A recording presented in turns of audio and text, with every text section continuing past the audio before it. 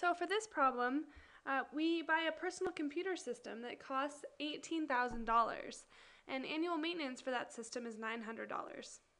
After three years, the salvage value of the system is $3,000.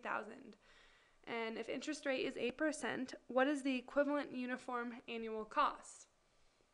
So let's go ahead and start with our cash flow diagram. We know that in year zero, we make our purchase for $18,000. And after three years, the system is worth $3,000.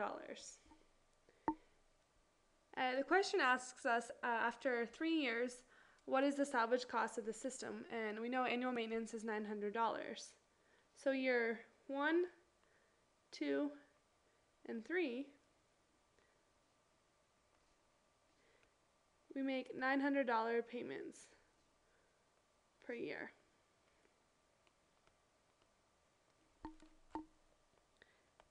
And we're trying to solve A. So here in this problem, uh, one key factor to, to think about is we need to convert that $3,000 and that $18,000 into the same time as A. Um, right now we have, basically what we have is uh, present worth is the 18,000 and future worth, which is our 3,000. So we need to find those annual payments. So we can start with solving, writing an equation for A.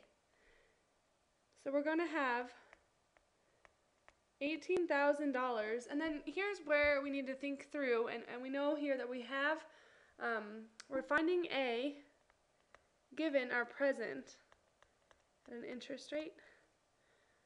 Um, and then our $900, we actually just simply add in. It's in the right time, so we don't actually have to uh, change the time of that $900. It's $900 every year, no matter what year. Um, so we just add $900 and then we'll subtract $3,000, which we will use the same as we did before. Uh, find A given, but in this case it will be P or F, it's a future value. Um, so one thing to notice in this type of problem here is the emphasis on signs. Make sure you pay attention to your negatives and your positives. As long as you remain consistent, it, uh, you make it make it make sense with your cash flow diagram. So we can now write our equation and fill in our interest rates. So A given P at an interest rate of 8% for three years plus $900 minus 3000 a given future 8% for three years. So now we can actually pull out our factor tables and we can use the same table in both, well, well the same, uh, make sure you don't use the same table, but you can use the same, our 8% is the same for both. Make sure you're using your A over P and then your A over F tables.